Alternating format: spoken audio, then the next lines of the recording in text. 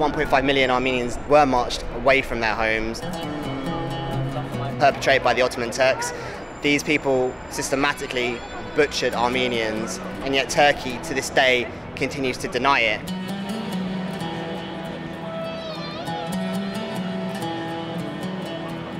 The Armenian genocide is the biggest pain which is present in the heart of every single Armenian, as most of us are descendants of the singular survivors, myself included. The destruction of a whole race, the attempted annihilation of the Armenians, particularly those in the Anatolian provinces, what is today's Turkey. 20 years or 200 years. This will never be forgotten. Never, ever.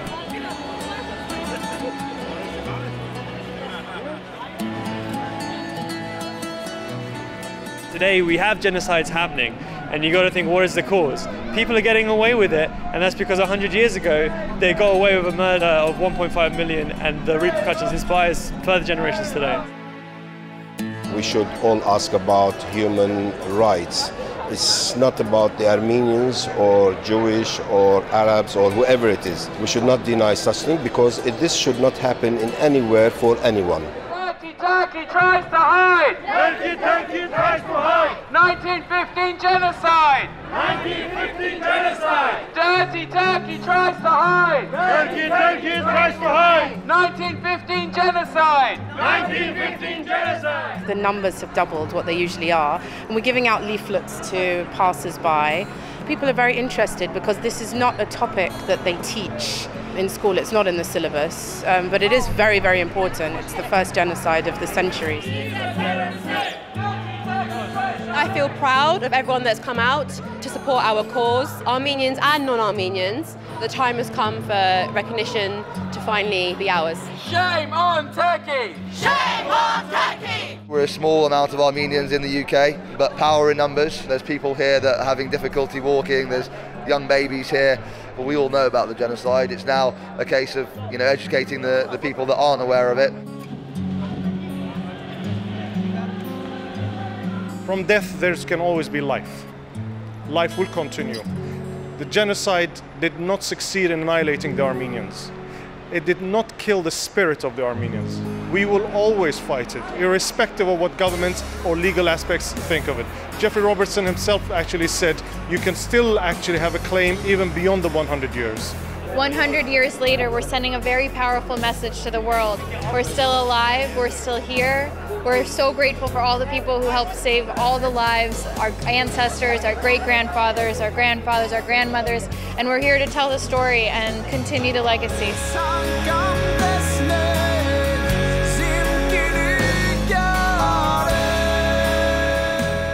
100 years means to me a period of silence and denial, not only from Turkey but from countries like Britain that are too scared to use the word genocide. They're scared of uh, angering one of their allies.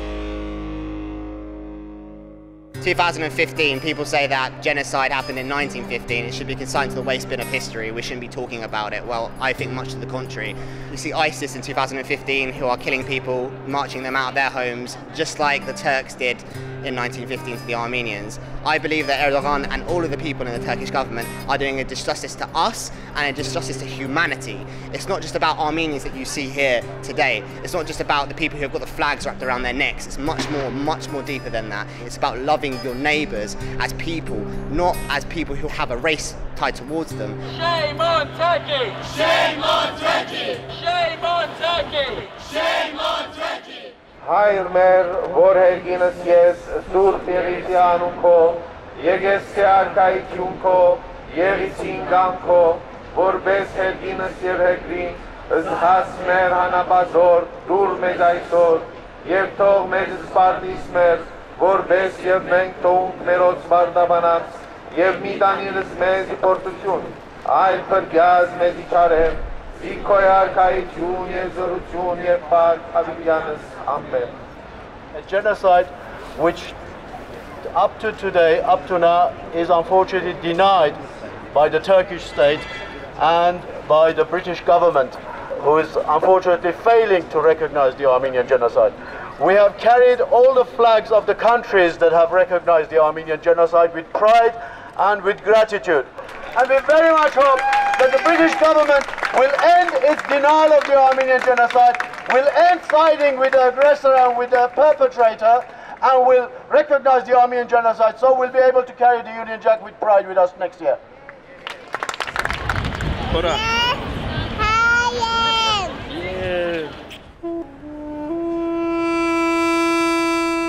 hear that the reason why my grandmother is in Syria or the reason why my parents had to move to Sweden all stems from one cause and that was my great grandparents having to walk through the desert because they were kicked out of their homes. So there's a sadness that follows your life history and your family tree. My grandfather's stories, which uh, were terrible, you know, and as a child you were affected. Unspeakable things that happened to the children and the young girls, which it stays with you, it doesn't go away. Personally, for me, I remember my great grandmother always on the 24th. I have her face in front of my eyes, and I can imagine that lots of people have the same. Disregarding it's recognized or not, it is the truth. We will always follow that truth. Turkey is a fascist state! Turkey is a fascist state! Turkey is a fascist state! Turkey, Turkey tries to hide! Turkey, Turkey tries to hide! The Armenian genocide! The Armenian genocide! I feel that in today's day and age, media plays a very big role in spreading the word. So I think it's definitely really helped everyone have a better understanding of what Armenia is and what the problem is and what really we're here now for today. Shame on Turkey! Shame on Turkey! The new and younger generations have really done a lot. I think uh, whether it's through music, through art, or through social media, we are the closest we've ever been. I think a recognition is in the very near future.